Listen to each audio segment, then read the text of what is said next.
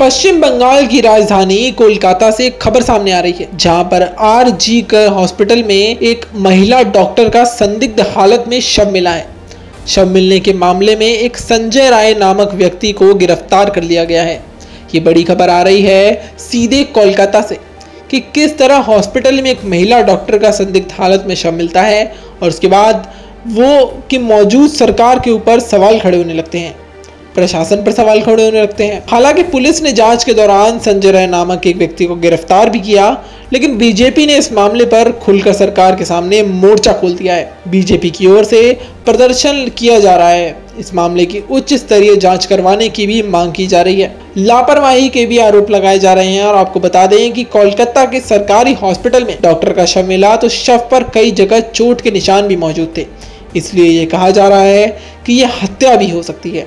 Medical college की emergency building में ये शव मिला था, जबकि डॉक्टर की नाइट शिफ्ट थी। और अब सबसे बड़ा सवाल ये है कि मौत कैसे हुई? शरीर पर चोट के निशान कैसे आए? और कैसे मारने से पहले मारपीट की गई थी क्या? जबकि हॉस्पिटल के वार्ड में इतनी भीड़ रहती है तो ऐसा कैसे हुआ कि कोलकाता में दो दिन पहले इस मामले में एक चौंकाने वाली पोस्टमार्टम रिपोर्ट सामने आई? पोस्टमार्टम रिपोर्ट में साफ़ तौर पर आया कि मृतक डॉक्टर के दोनों आँखों और मुँह से खून आ रहा था। चेहरे और नाखून पर भी चोट के निशान देखे गए थे। पीड़ित की गुप्तांग से लगातार खून बहा जा रहा था। पुलिस ने यह दावा किया कि डॉक्टर की हत्या सुबह तीन से छह के बीच हुई।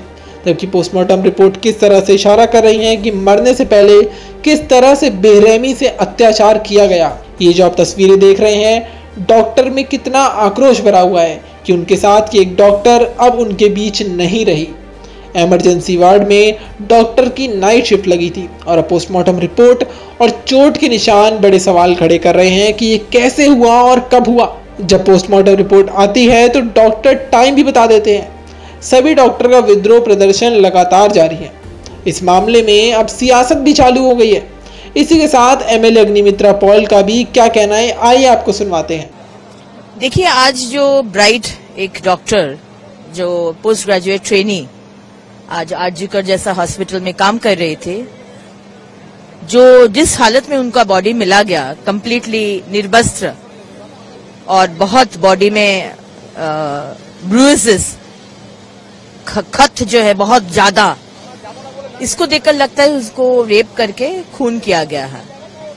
तो हम लोग का दाबी है सीबीआई इन्वेस्टिगेशन हो। और ऐसे भी शाम के वक्त के बाद आप पोस्टमार्टम नहीं कर सकते।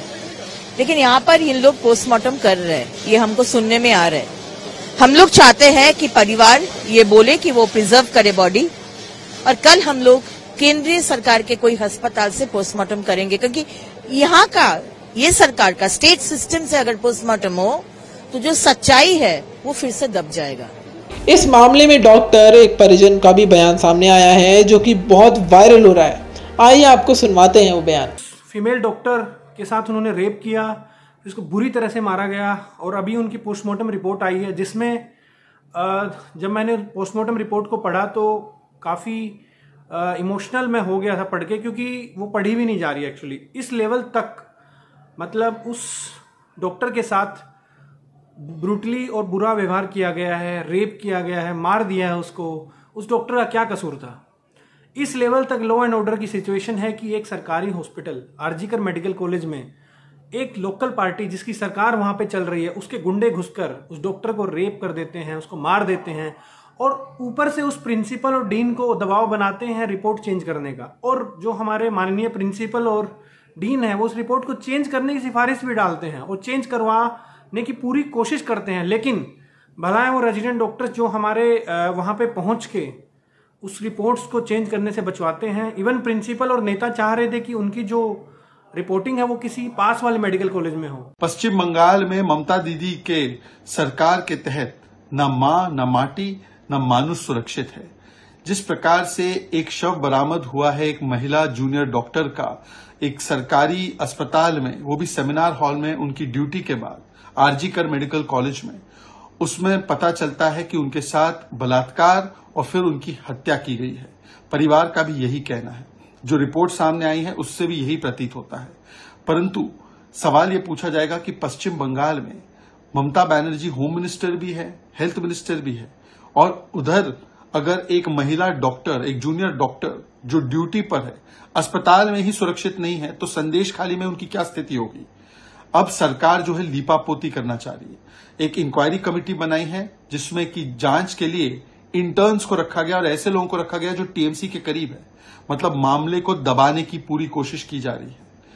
अब जो पूरी डॉक्टर और मेडिकल फेटर्निटी है, वो भी इसका विरोध कर रही है और सीबीआई जाँच की मांग कर रही है। क्या परिवार और जो पीड़ित है, उनके अधिकार के लिए क्या सीबीआई की जाँच पर राज़ी और स्वीकार होगी सरकार?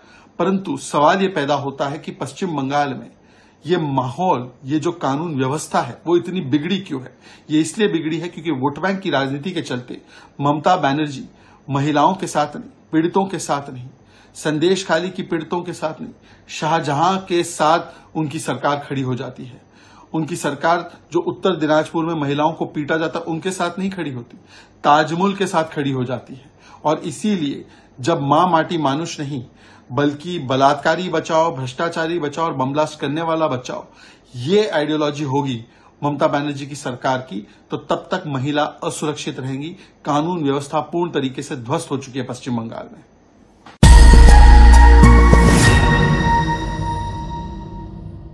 अब इस पूरे मामले में जाँच समिति बनाई गई है, जिसमें सभी इंटर्न्स को लिया गया है और वो लोग हैं जो टीएमसी के करीबी हैं, जिसके इस मामले पर पर्दा पड़ जाए और जो कि पूरे डॉक्टर की टीम है, वो परिवार वाले सभी सीबीआई जाँच की मांग अगर कर रहे हैं, जिससे जल्द के जल्द डॉक्टर के आरोपी को पकड़ा जाए।